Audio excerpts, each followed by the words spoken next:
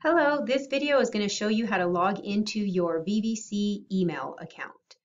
So first, you will look at your welcome letter that was sent to you by the admissions office. It was sent to your personal email, and it included your student ID number, your VVC username, your password to get into MyVVC, and it also gave you your full email address. So your student email account has already been set up for you. It's not something you have to create. You just need to log into it. It starts with your user ID at the beginning and it's followed by at student.vvc.edu.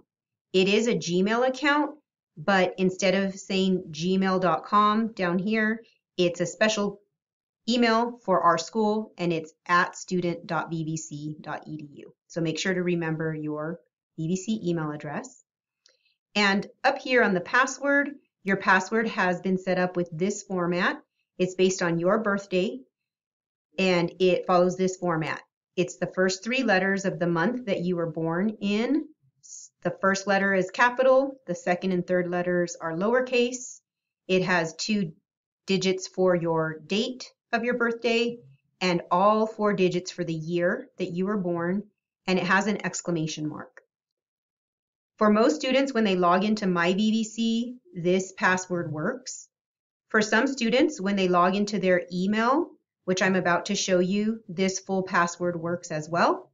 But there are some students where they need to log in and use this password but not put the exclamation point on the end. Um, so if, if you try it this way and it doesn't work, it says the password's incorrect, um, you may try it without the exclamation mark, removing the exclamation mark, and for most students that does make it work.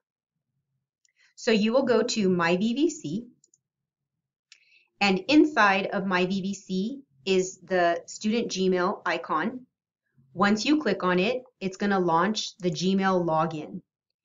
And what you'll notice is that it already has at student.vvc.edu listed there. So all you need to do is type in the first part, your VVC username.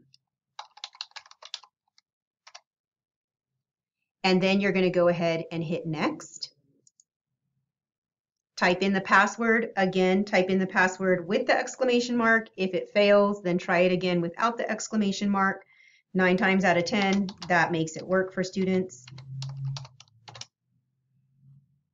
And then you're going to hit next and it should take you right into your email. Once you get logged into your email, the very first thing it's going to ask you to do is to enter in your cell phone number and your personal email address so that you have some recovery set up in case you ever forget your password to log into your student email account. This way, you can use the forgot my password feature and it can text you a code or email you a code to your personal email address and you can get back in to your student email account without having to call our help desk. Um, that way you can resolve it as quickly as possible. And then from here on out, we expect you to be using your student email whenever you're connecting with the campus, and we will send your um, messages and updates strictly to your student email address. We will no longer use your personal email address for business with the college. Thanks for watching this and look out for other videos showing other features.